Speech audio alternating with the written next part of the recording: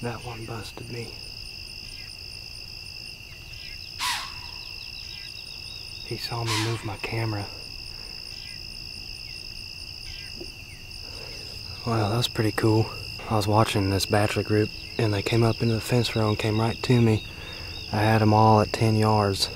It's pretty cool. I'd say um, a couple of those might be shooters. Um, on public land anyways. I'd have to see them out of velvet and they've still got growing to do.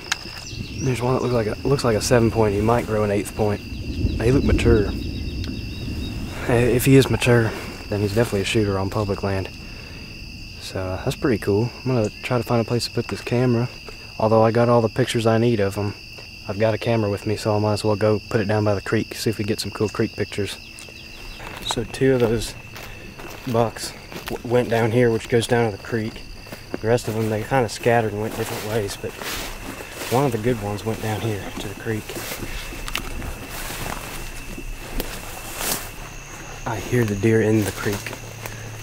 So they're down here somewhere. Alright, also it's getting dark out here, but the creek is down there. There's a good little trail that goes down on an angle straight into the creek, and this is where I heard the deer crossing. And uh, there's a good little trail going parallel here, and it, it comes down on an angle, goes to that trail, and then of course the trail I came in on is the trail that those two deer I saw ran down. So I've got my trail camera right here. Sorry it's not focusing very quick, but I've just kind of got it angled straight down at where these two trails meet and go down to the creek. Uh, nothing too exciting, but maybe we'll get some pictures of some other deer that I didn't see tonight. So uh, leave it here for a couple weeks and come back and check it later.